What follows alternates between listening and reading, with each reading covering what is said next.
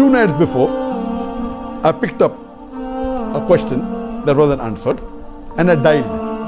And I made a WhatsApp call in the night,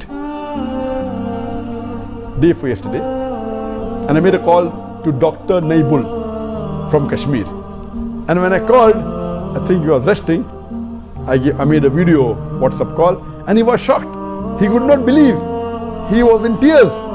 He called his father, he called his mother, he called his two sisters, and all of them were in front of his camera. And I spoke for a few minutes.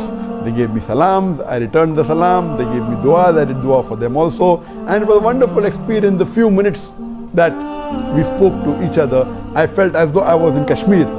Last I visited Kashmir was in 2003, and my heart aches for Kashmir.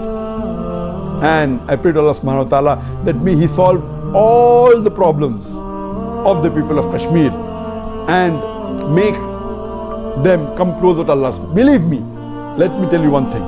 My dear brothers and sisters of Kashmir, whatever atrocities that are being put on you, the moment every hurdle he faces, every atrocity that he comes across, every calamity that he comes across, it is a benefit for him. His sins are being forgiven.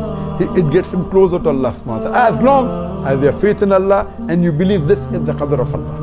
What happened to you and what's happening to you has already been destined by Allah subhanahu wa ta'ala. It has been destined. So what you should say? Alhamdulillah. If this is the qadr, you take it in the right spirit, thank Allah for it. It could have been worse. And believe me, inshallah, I pray to Allah that we meet all of us in Jannat al-Firdaus.